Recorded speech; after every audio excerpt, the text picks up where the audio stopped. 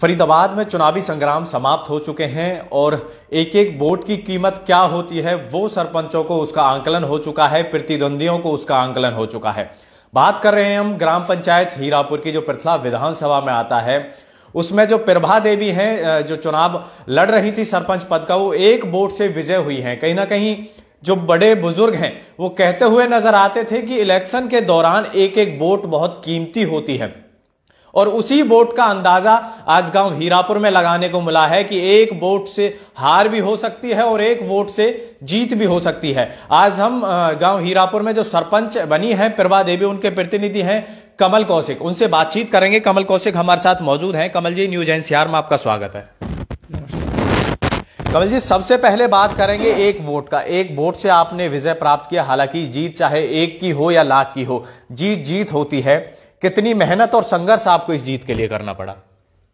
एक वोट के बारे में पहले हमने केवल सुना था और अब हमने एक वोट का महसूस कर लिया है कि एक वोट की कीमत क्या होती है। एक वोट से हार भी हो सकती है और एक वोट से जीत भी हो सकती है जो कि अब हुई है।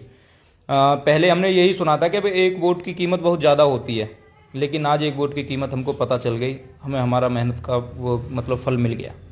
बिल्कुल ये पृथला विधानसभा का गाँव हीरापुर है और जहाँ पर लगभग मैं मैं बात कर रहा हूँ कि अभी तक के राजनीतिक इतिहास में ये पहली बार हुआ है कि जीत एक वोट से मिली है और हार भी एक वोट के बाद मिली है।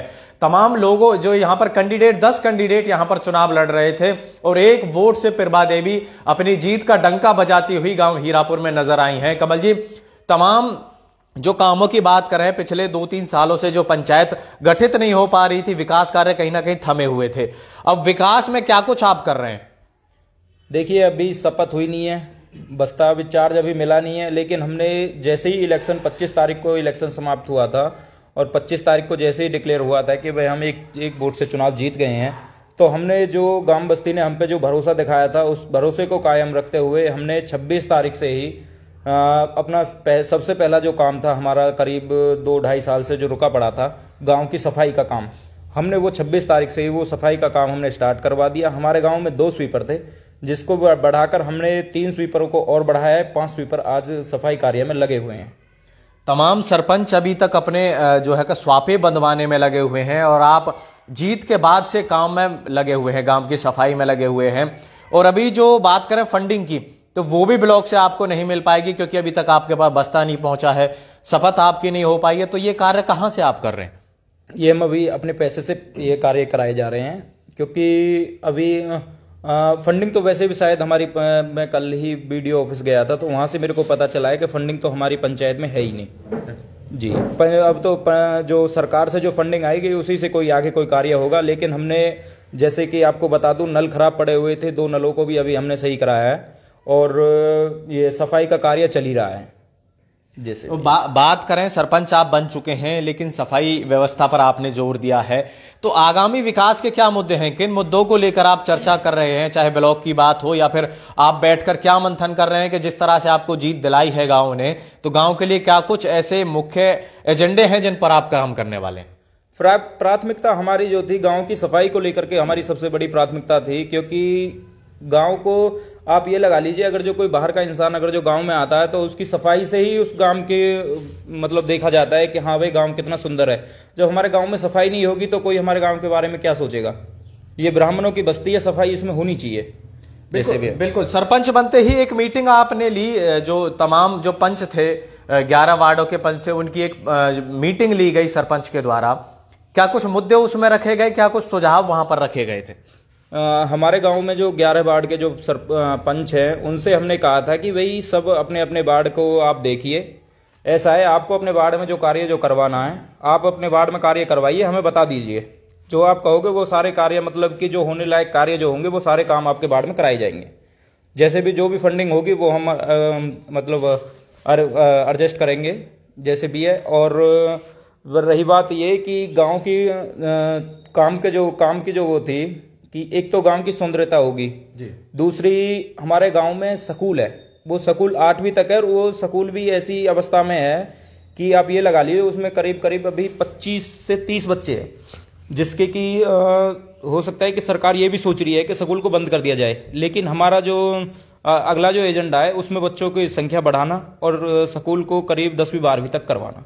बच्चे अभी तक स्कूल में नहीं पहुँच रहे हैं। क्या, किस तरह से बच्चों में उस गैदरिंग आप स्कूल के अंदर कर पाएँगे? स्कूल में जो हमारे जो हेडमास्टर अभी जो आए हैं, उन्होंने वास्तव में ही स्कूल के लिए बहुत कार्य किए हैं। अभी उनको करीब दो महीने स्कूल को चार्ज लिए हुए हैं। और उनसे मेरी कल बात हुई थी तो वो ये कह रहे थे कि भाई हम घर घर जाएँगे और घर घर जाके जैसे कि पहले सरकारी स्कूल का माहौल जो बिगड़ा हुआ था, कहते थे कि भाई सरकारी स्कूल में पढ़ाई नहीं होती है, ये और वो। तो उन्होंने कहा है कि हम घर घर जाएँगे और अभिभावकों से बात करेंगे कि भाई आप अपने बच्चों को भेजिए, अगर जो आपका बच्चा उसमें पढ़ाई में ठीक नहीं हो पाता है तो उसके जिम्मेदार हम होंगे। बिल्कुल, सरपंच आप बन चुके हैं, सरपंची का काम आप संभाल रहे हैं, जो भी गाँव के लिए विकास कार्य होंगे, उनको आप लेकर आएँगे। लेकिन आपके गाँव में एक संस्था और सक्रिय होती नज़र आती है, युवा एकता मंच के नाम से है। उसका किस तरह से आप लोग सहयोग करेंगे और वो किस तरह से गाँव के विकास में आपसे मिलकर गाँव के विकास के लिए कुछ काम कर पाएगी? युवा एकता मंच जो करीब आज से तीन साल पहले हमारे गाँव में ये सक्रिय हुए थे, लेकिन कुछ कारणों से पता नहीं, हमें तो उस कारणों का पता नहीं है कि वो मतलब बंद सी हो गई है तो उनसे हम दो फिर से कहेंगे कि भाई आप एक काम कीजिए काम करिए हम आपके जो हमारे हमसे जो सहायता बन पाएगी हम वो सहायता आपकी करेंगे। और एक तो मतलब अगर जो आ, किसी भी गाँव में अगर जो इस तरह के अगर जो संगठन होते हैं सेवा के तो उनको मतलब आगे बढ़ावा देना चाहिए मेरा मानना ये है। बिल्कुल, चाहे संगठन हो या सरपंच हो, दोनों विकास कार्यों के लिए बनते हैं। विकास कार्यों के लिए इन्हें गठित किया जाता है।